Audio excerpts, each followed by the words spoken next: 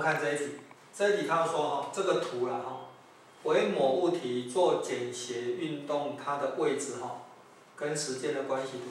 哦，这个方向代表右边右方，这个是左方啊。那它正弧哈是等于三，哦，这个正弧 r 哈是等于三的。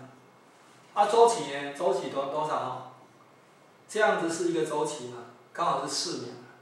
从这里到这里刚好是四秒，就下来上去再下，这样子的话一个周期，一个周期等于多少？等于四秒，啊，周期四秒。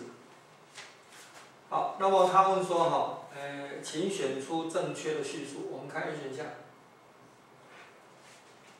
其由平衡点出啊，错了，由端点啊。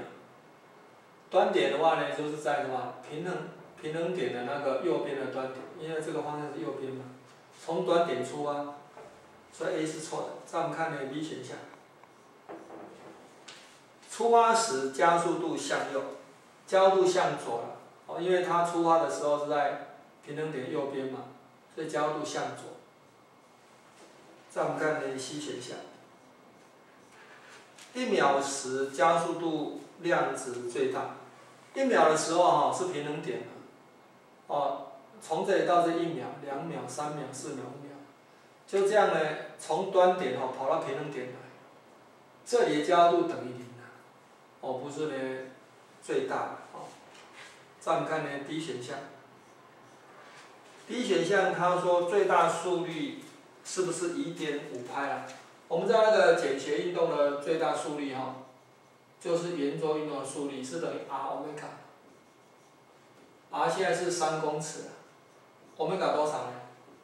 欧米伽是二派除以 t 啊。哦，二派，啊 t 是四，所以是二分之拍。二分之派，所以是二分之三拍，哦，就一点五派没有错了，所以 D 这个选项是对的。再我们看呢一这个选项，他说最大加速度是零点七五拍平方，对不对？哦，最大加速度就是对应的参考源的向心加速度 r 欧米伽平方，r 是三嘛，乘以呢二分之派的平方。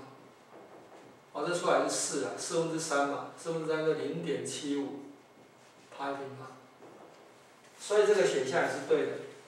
哦，所以这题答案应该选 D 跟一。